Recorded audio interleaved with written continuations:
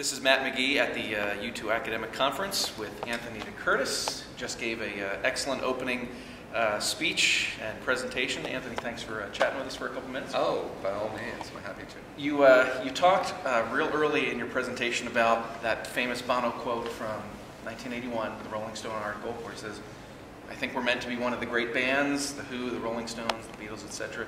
Uh, in your mind, if they quit tomorrow, is there any doubt that they've reached that status?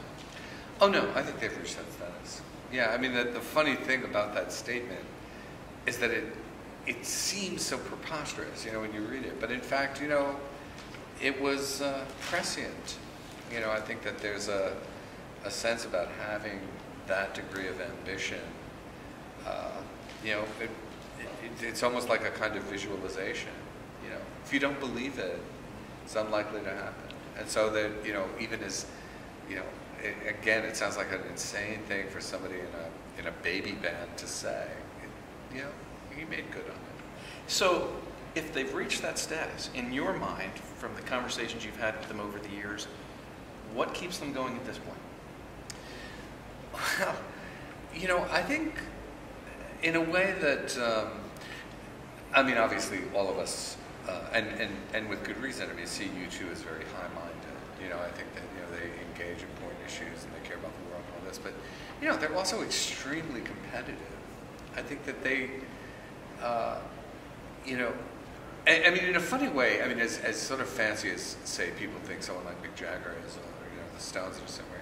I think the Stones sort of think of themselves as a working band, you know, like they're, you know, it's almost like everyone reverts to type, and I think, in the case of U2, I think they see themselves as, you know, this is what we do.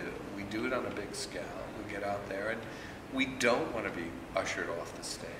You know, I think that there's a sense of, you know, an insistence on their ongoing relevance. And, you know, so they're going to do it for as long as it makes sense for them to do it. I mean, it's very interesting. I don't know if you've seen the current issue of Rolling Stone. You know, Larry Mullen's talking about his, you know, essentially, you know, the, the breakup theory of U2. I don't see it happening that way. You know, I think. Uh, how, how, how do you see that? Is, is, there going to be the this big farewell thing, or is it just going to be that's it, we're done? I think they're going to continue to do it uh, for as long as it makes sense to do it. For as long as you know, unless you know, someone dies, or unless you know uh, some sort of external force somehow breaks up the band. But I think U2 is here to stay. You know, a, there's, um, I mean, what is going to break them up at this point? You know, I think that, um, know, they're still doing good work. You know, they're still doing very credible work. You know, I mean, I was sort of half joking. You know, that there's sure to be the you know, the greatest hits 2000 to 2010, but that's going to be a good collection. You know, and and. Um, as long as you're doing interesting stuff and you're engaged with it, and and especially if you feel that fight to hold on to the, you know, to hold on to the, uh, you know, your your status as one of those big bands. You know, I don't know what what could withstand that. You know. um, one last question for you. The uh, you talked about uh, the Rolling Stones a little bit as well.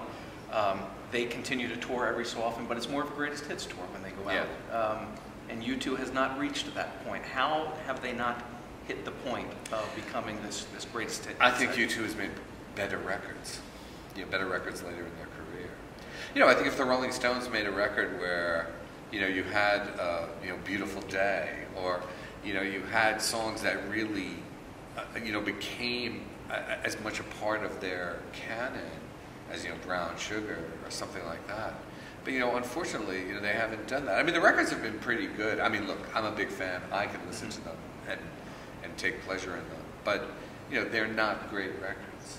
You know, I think U2 has made great records, and so that you know that makes a difference. Uh, you know, you don't have to do you know your previous greatest hits if you're having current hits.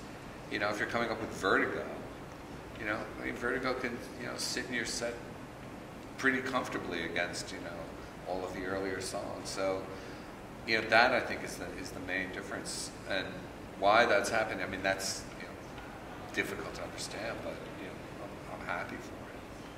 For your time. Oh, thanks a lot. It was really a pleasure. Thank you.